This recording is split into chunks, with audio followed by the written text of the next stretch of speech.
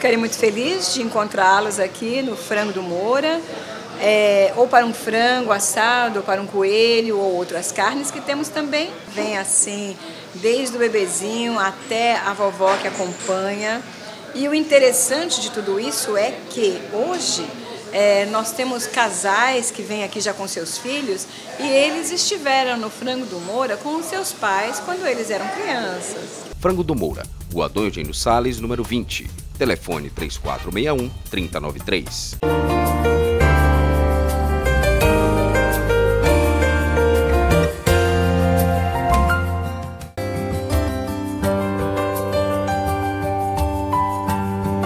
A grande bandeira dela é, e o grande diferencial são os produtos a beber. Né? A gente tenta é, levar ao cliente não só o produto em si, mas uma solução. Ou seja, como é que esse produto se encaixa no cliente, como é que a gente pode ajudar ele. Então, a nossa visão é de, de comprometimento com o resultado do cliente, não comprometimento só com o produto. Né?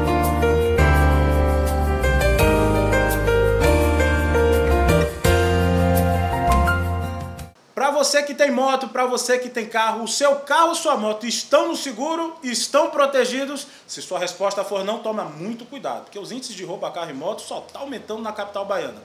Não faça parte dessa estatística. Instale desde já um rastreador veicular no seu carro ou na sua moto e fique protegido do ladrão. E o que é melhor? Mensalidades a partir de R$ 59,90. Ah, R$ 59,90. Pega o telefone e já vai discando.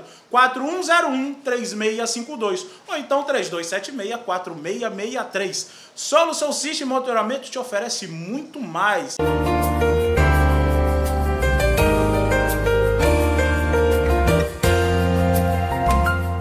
É meu primeiro romance, eu já tenho outros livros. Eu espero que sim, porque tudo é revertido para a Cidade da Luz, a gente está sempre necessitando aumentar as nossas vias de conquista de recursos para fazer frente aos nossos gastos. Pelo lado psicológico, porque toda, não, tem uma, não existe uma pessoa no mundo que não é carente e que não tenha problemas e às vezes se, deixa se autobloquear pelos problemas. E faz a pergunta e ele responde com uma firmeza fantástica de maneira que eu tenho muito prazer.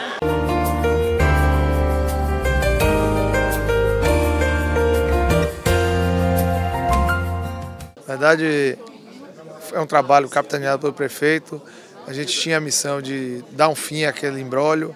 É, é um passado, é um, um passado que fica aí para a história, aquele monumento, como disse o prefeito, ao desperdício, ao descaso, da administração anterior, a gente agora com fé em Deus vai colocar o chão, vira a página, inicia um novo projeto e a cidade agradece.